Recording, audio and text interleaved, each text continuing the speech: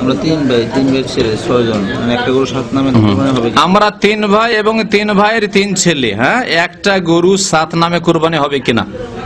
সাত নামে তো কোরবানি অবশ্যই হবে। কিন্তু তিন ভাইয়ের তিনটি নামে দিয়ে এক এক ভাইয়ের যে পরিবার আছে সমস্ত পরিবারকে সামিল করতে পারেন। এক ভাইয়ের যে ছেলে মেয়ে আছে স্ত্রী ছেলে মেয়ে একটি গরুর ভাগে তারা সামিল হতে পারে।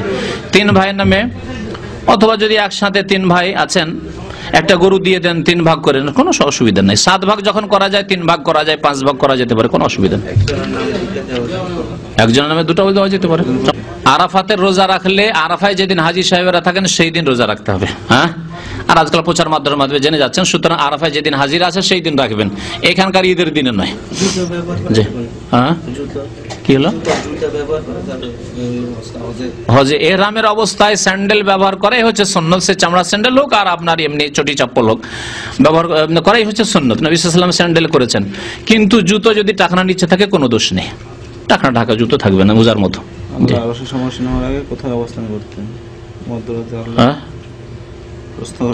এগুলো প্রশ্ন ইনশাল্লাহ আগামী এতে পরে জবাব দেওয়া যাবে ইনশাল্লাহ ওয়াকান আরশু আলমা আসমান জমিন সৃষ্টি করে আল্লাহ পাক রব্বুল আলমিন আরস আরস কুরসি রয়েছে আসমান জমিনের ওপরে।